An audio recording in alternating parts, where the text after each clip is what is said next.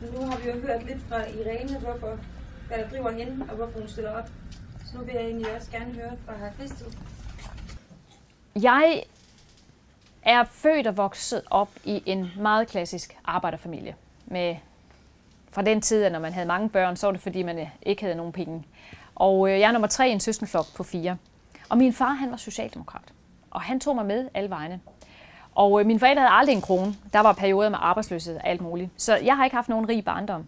Men takket være det velfærdssamfund, vi har i Danmark, så har jeg faktisk fået mulighed for at klare mig godt. Og det har faktisk været motivatoren for mit politiske arbejde. Jeg meldte mig ind i DSU og vil faktisk gerne kæmpe for, at alle mennesker får en mulighed for at få et godt liv.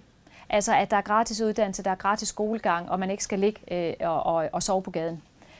Og jeg har bare fundet ud af i dag, at hvis jeg skal arbejde for det her, så er det blandt andet også på europæisk plan, at man skal arbejde, fordi EU påvirker rigtig meget for os i Danmark, men jeg kan også være med til at løfte det for andre mennesker i resten af Europa.